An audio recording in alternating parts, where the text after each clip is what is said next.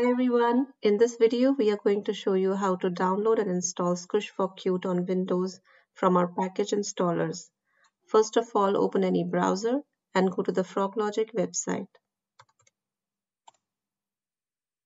Go to Squish and then click on the Download tab.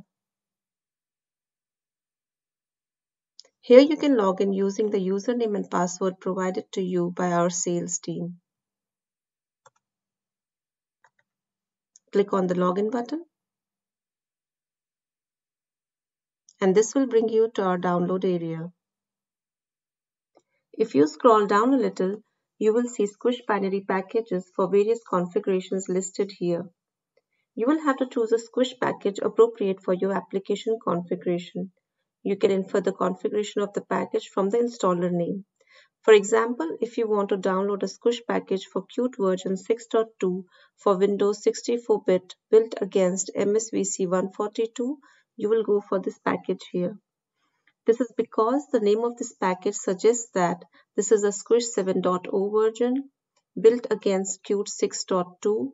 The part here is the system architecture, which in this case is Windows 64-bit. And the last part here is the compiler name and version, which in this case is MSVC 142. So click on the link here and scroll down to accept the license agreement.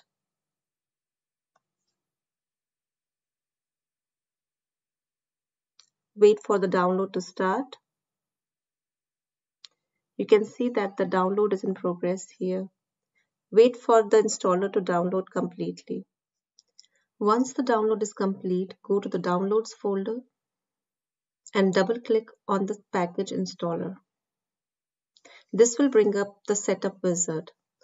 I will minimize the rest of the windows for better visibility. Now click on the next button. On this page, you will need to enter your license information.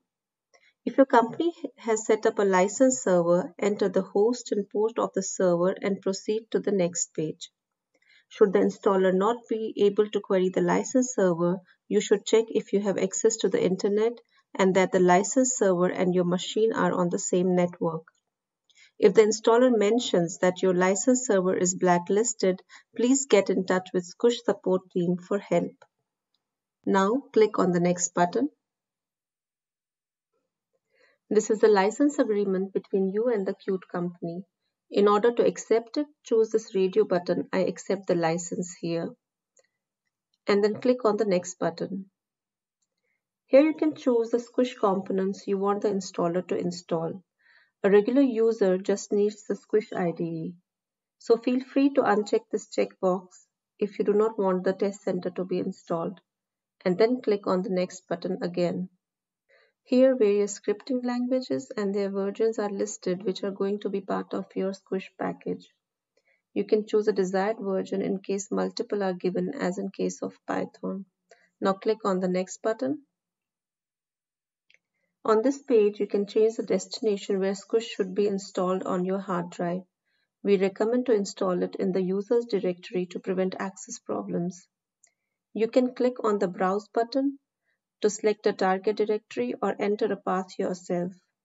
Now click on the next button. If you want Squish shortcuts to be created on your desktop or start menu, you can leave these checkboxes checked. Otherwise, just uncheck them. And then click on the next button. Now just click on the install button to start the installation process. You can click on the show details button to see what is being copied by the installer at that moment. We'll wait for the installer to finish the installation now.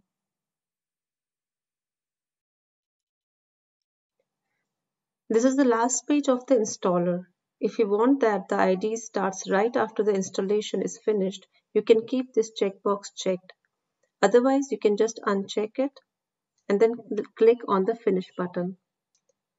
So this brings us to the end of the tutorial. Hope you will find it helpful and thanks for watching.